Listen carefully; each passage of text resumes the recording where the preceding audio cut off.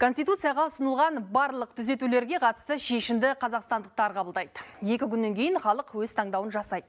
Мемлекет басшысы саяси реформалардың жобасын ұсынды. Соған сәйкес ата заңға енгізілетін өзгерістер жайында Асиман Нұрбайқызы түсіндіріп береді.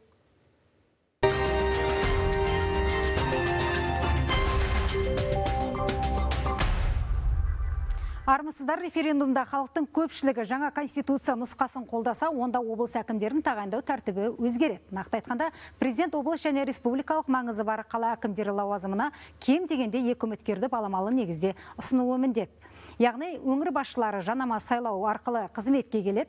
Мәжілісте аралас сайлау жүйесі бойынша сайланады халық тең және төте сайлау өткізеді.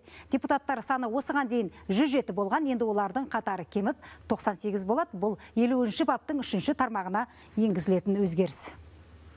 Қазіргі ата заңда жер және оның қойнауы, су көздері, өсімдіктер және жануарлар дүниесі басқа да табиғи ресурстар мемлекет меншігінде болады деп жазылған. Енді өзгерістер енгізілсе, онда жер және оның қойнауы халыққа тиесілі болады.